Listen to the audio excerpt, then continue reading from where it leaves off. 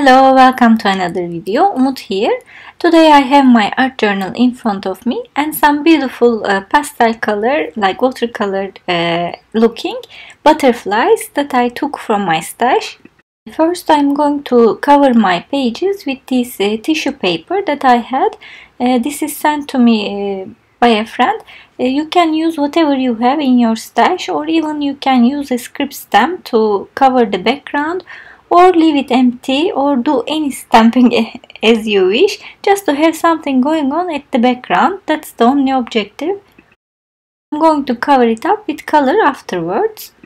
I'm going to stick this to my pages with a matte medium.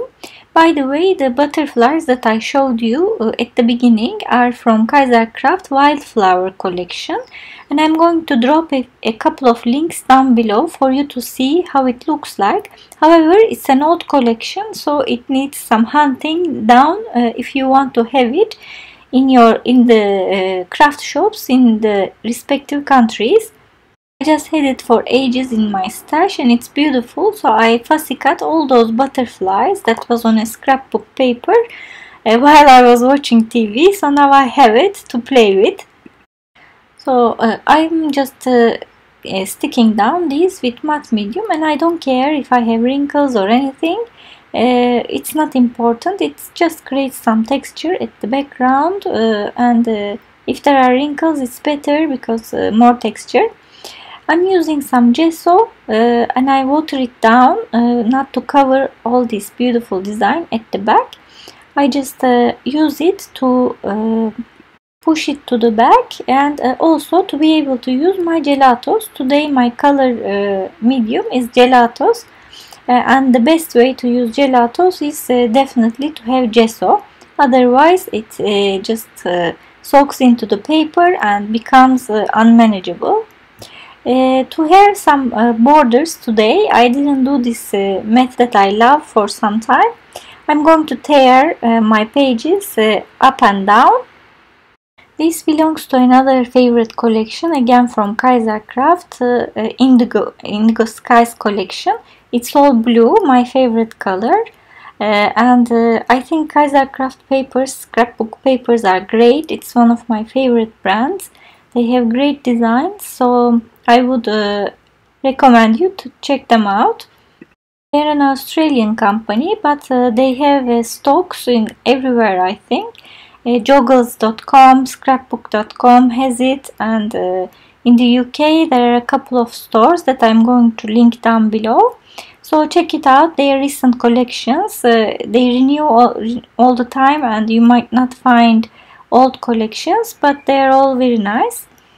Um, while I was talking, uh, I just cut a couple of strips of these uh, scripts that are uh, white on navy blue.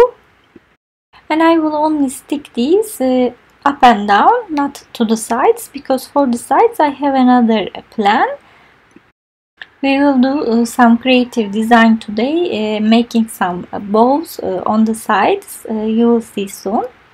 Uh, again I'm using matte medium to uh, glue all these uh, things down and uh, I'm going to cut uh, the excess when I'm finished. Uh, when you are ripping your pages off just be careful not to rip off any further pages. when I was doing it I ripped off the page at the back as well. sometimes they stick together and you might rip off more than one page.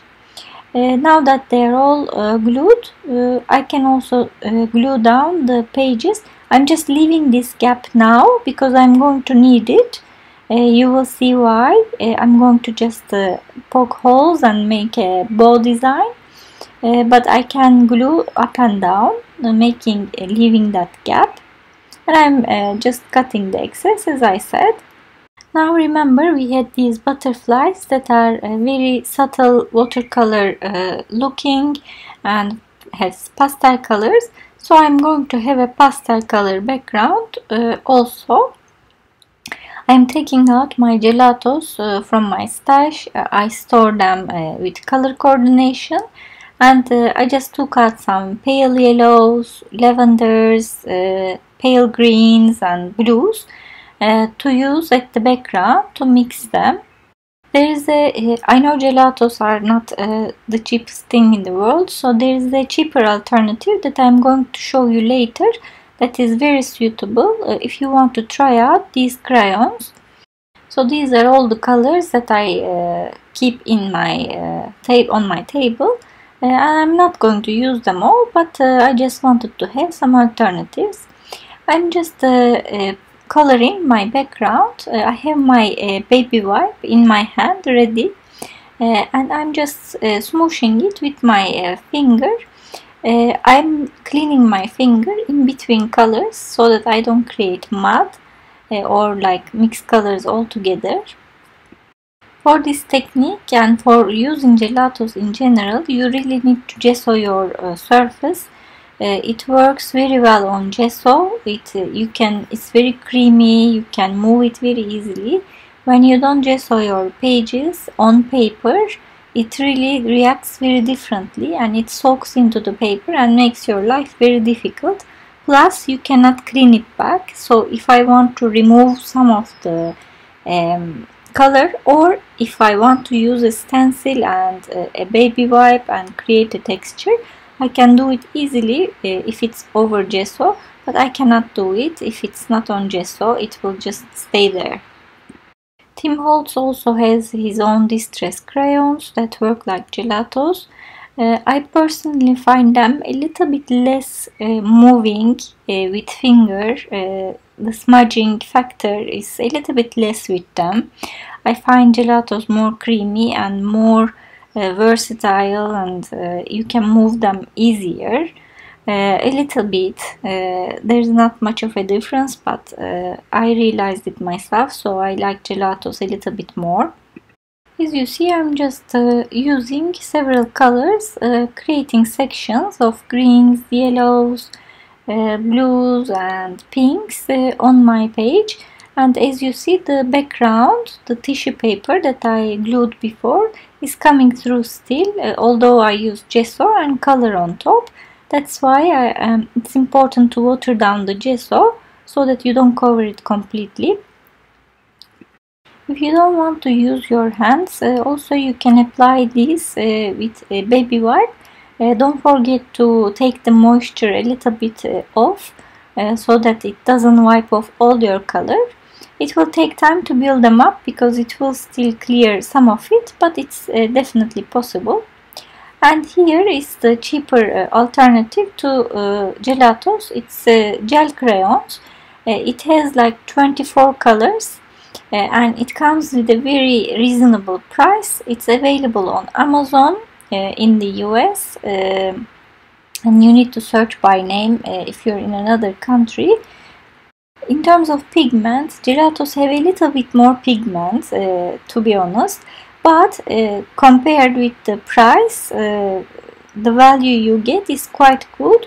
So if, if you want to try out to see if you like it or if you are uh, just if you don't want to spend so much money on uh, crayons it's a very good alternative. When I finish my gelato so, or if I need another color there I definitely go with it. I don't have any problem and it was sent to me by my lovely crafty friend from uh, all the way from US so thanks to her uh, a lot for that as well. In the meantime I just uh, placed my butterflies on the page and I'm using matte medium to uh, glue them down. As you see I'm not uh, going around the butterflies a lot with my matte medium. I'm using a dry brush and just uh, put it at the back of my butterfly and go over it gently because gelatos uh, are activated with water so I didn't want to ruin all this background that I created for a long time. Uh, I took another dark uh, navy color uh, gelato to uh, go around the edges to create a nice border and contrast so that the eye can be drawn inside where I have all these beautiful pastel colors going on. If you want to seal your pages, by the way, when you use gelatos, there are two ways. One is using a fixative spray um, and uh, cheap hairspray will do as well. Just spray from a distance uh, and outside Uh, also you can use a dry brush and matte medium but you need to be very gentle uh, not to sm smoosh it from place to place. Uh, so just uh, be very gentle and use a dry brush. I just scribbled the gelato on my table and uh, sprayed some water which activated it and it became uh, like a watercolor. So I'm just doing some splashes with that dark blue which looks really nice uh, and brings everything together. I am also doing some splashes watering down my gesso on my table again. I have both these colors on the borders as well so uh, it's a way to bring everything together and create some harmony. Now coming to the uh, borders that I wanted to do both eyes uh, I just uh, took my ruler and I'm just measuring one third of the page uh, to uh, calculate the middle to, to put my bow I'm just marking it with my pencil and I have my crocodile tool that I have from We R Memory Keepers. I'm going to put the link down below uh, for you to see. If you're not going to use it all the time, there are simpler ones that you can have a look. I'm just uh, going to poke holes, like create holes, uh, two holes uh, at the places that I marked with my pencil.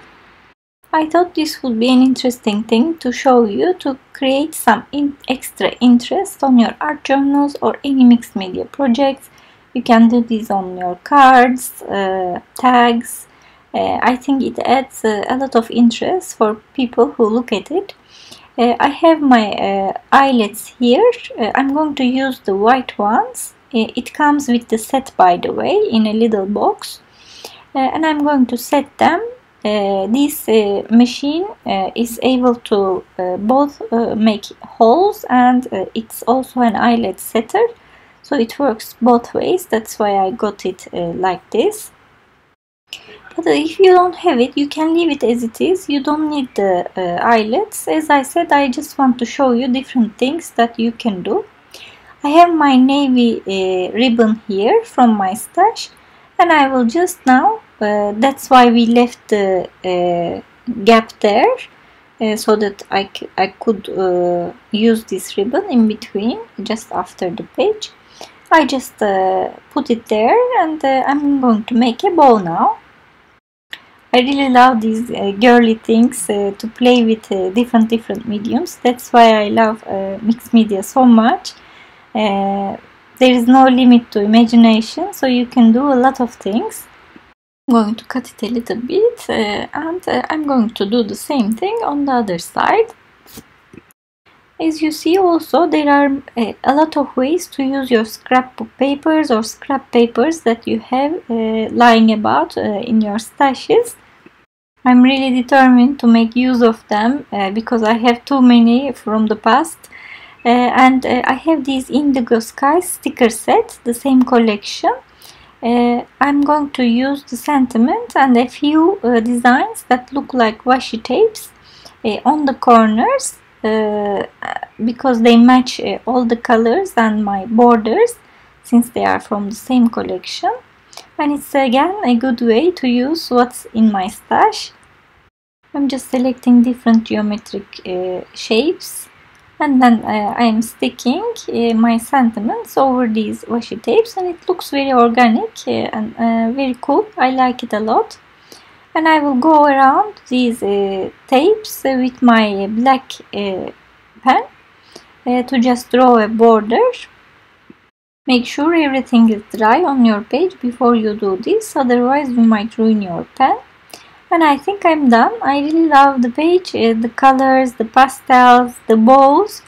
Uh, I hope you enjoyed the process as well. If you did, don't forget to give me a thumbs up, subscribe, open your notifications and leave me a comment.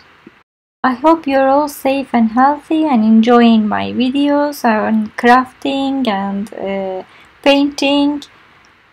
We need it more than ever uh, these days especially.